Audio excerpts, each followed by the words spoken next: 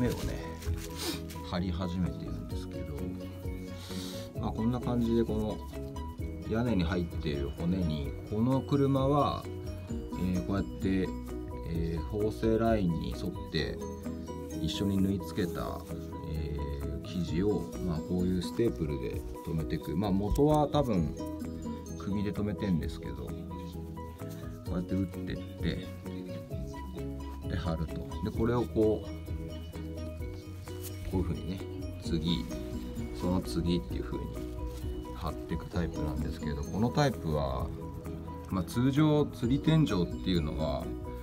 えー、このラインにねこう針金が引っ掛けられるようになっててでここがこの縫い付けてあるこの布が袋状になってるんででその針金をこの袋に通して、えー、貼ってくんでこう生地全体をこう左右に動かして調整が効くんですけどこいつはもうこうただただ引っ張って貼っていくだけなんで結構それがやりにくいですよね。こう綺麗に貼れるとやっぱ限界があるかな。こういうところとかね逃がさなきゃいけないんで。でこの両サイドはこの引っ掛けの釘が見えるかな。引っ掛けの釘がいてこれにこう生地をこうぶっ刺せという作りで。で最終的にはここの木で、え、生地を止めてでここにこう目張りが入るんですけど、うん、このタイプはねちょっとやったことなくて、えー、まあ通常は針金が入ってるタイプなんですけどねやっぱりこう30この車1935年だかなんでまあ馬車の名残がすごく色濃い、えー、ボディの構造ですね。なんでちょっと大変だけど。ちょっと作業してみます。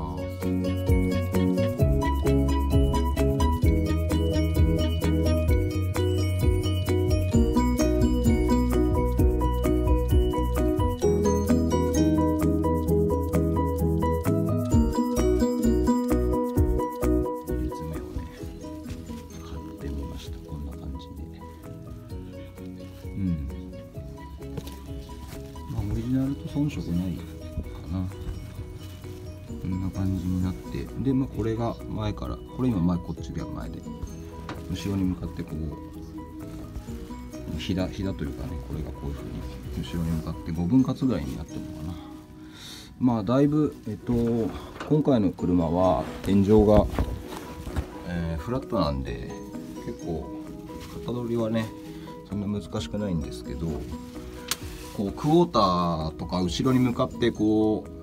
すぼまってる40年代ぐらいの車になってくるとかなり難しくて、えー、こう立体裁断してやんないとこういう角の R がもう合わなくなってくるんで1回でいくってことは1回でそのパターンが起こせて貼れるってことはまずなくて、えー、もう最低でも2回同じものを作って微調整しながら合わせるっていうことをしないと絶対形にならないですね。あと使う生地なんかも、あのー、天井用の軽くて、えー、張りがいい生地じゃないとできなかったりとかします。で、まあ、この車はレストアなんですけどえー、アメ車なんかのねカスタム車両でよく見るあのチョップトップ天井ぶった切って低くなってるやつ3インチとか5インチとかってなってるやつは天井の当然ラインが変わるんであのオリジナルの釣り天井っていうのは絶対形が合わないんですよ。であの型起こしの手間を省いてそこを仕上げようとしてる内装は必ずこのクォーターのこの辺であの絶対シワが出ます。それはもともとの、えー、天井の生地を裁断してる部分をあ裁断じゃない。縫製してる部分を解いて型にしちゃってるからなんで、まあ、本来この辺の R ってオリジナルよりもきつくなるはずなんであの絶対この辺は、えー、オリジナルの表皮を型にしちゃうとシワが出ちゃうんですよ。で R きつくなればきつくなるほどこの幅っていうのはどんどんこう細くなって数が増えないと形合わないはずなんでであんまり細いのが多すぎても見栄えが良くないし広すぎるとシワが出ちゃったりとかするんでこのチョップした車の、えー、この幅の設定っていうのは結構車によって変えないと絶対うまくこう特に半分から後ろが収まらないはずなんでその辺で結構こう側はね綺麗にできてても内装でその辺見て、えー、あんまり仕上がりが美しくないとちょっとこう手抜いたのかなとか、えー、内装屋さんは思ってしまいます。で僕は結構カスタムショーとか行くと、えー、内装のそういうところをねどうしても見てしまうんで気になっちゃうタイプです。はい。じゃあ残りをねちょっとやってみます。栗晴れました。まあおよそこれで完成ですね。ここはルームランプがねつくんでちょっと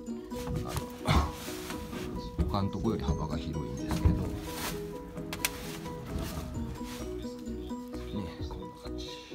完全フルレストアのちょっと車じゃなくていろいろま